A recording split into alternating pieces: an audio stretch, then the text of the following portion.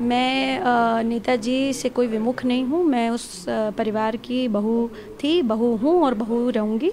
और किसी भी बहू का कर्तव्य है कि कोई भी अच्छा काम करे तो ज़रूर अपने बड़ों का आशीर्वाद लेना चाहिए। और नेताजी मेरे लिए ससुर जी भी हैं, पिता तुल्य भी हैं, पिता हैं। तो मैं यही कहूँगी कि मैंने उनका आशीर्वाद लिया। भारतीय जनता पार्टी ही फिर से सरकार बनाएगी।